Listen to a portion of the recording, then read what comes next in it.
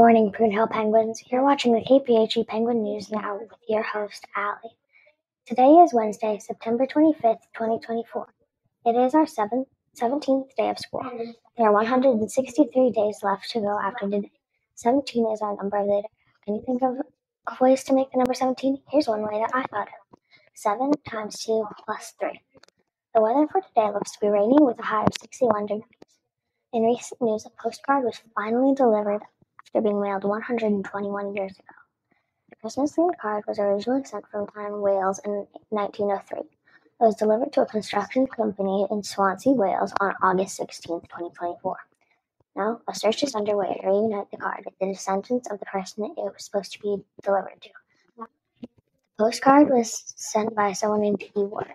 It was named. It was written to Miss Lydia Davies, who, mo- who likely lived at the address now occupied by the construction company.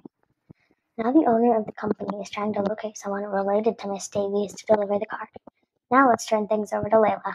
Hi, my name is Layla, and I'm second host of the day. We would like to wish a very happy ba- birthday to Haley in room 13 and Abigail in room 22. Happy birthday! Today's Wacky Wednesday, and one wacky fact is did you know that a bolt of lightning is five times harder than the sun? That's pretty wacky. Did you know that today is National Comic Book Day?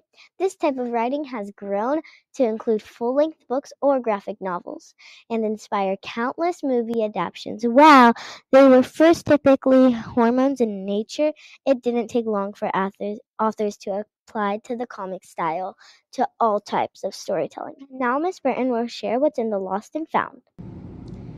Good morning, penguins. We're up here at the Lost and Found, and the wreck is getting a little bit more full.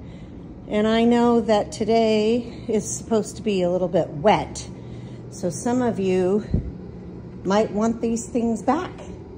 So walk by the rack today, take a look really carefully and see if something that is yours is hanging on the rack take it off and take it home. We also have some water bottles and lunch items and a couple hats up here and a notebook. Let's get all these things back to where they belong. Have a great day, penguins. Now we'll hand things over to Bianca. Hi, Penguins. It's me, Bianca, another one of your hosts today. It's time for announcements about what's happening around the school. Book Bowl starts in the library after school today. Tomorrow evening, the second graders have their family community social at 5 o'clock in their classrooms. On Friday, the birthday, the birthday table will be set up in the cafeteria for all the August and September birthday kids. Coming up on Sunday, we will have the Ocean to Ocean family event from 3 to 4:30 p.m. Plan to bring your family and earn extra miles on your card. On this day in history, in 1981, Sandra Day O'Connor was sworn in as the first female justice on the Supreme Court. Here's our funny joke for the week. What did the toilet say to the other? You look a bit flushed. Please remember to say the Pledge of Allegiance with your class sometime today. Let's all show our penguin pride by being safe, respectful, responsible, and kind.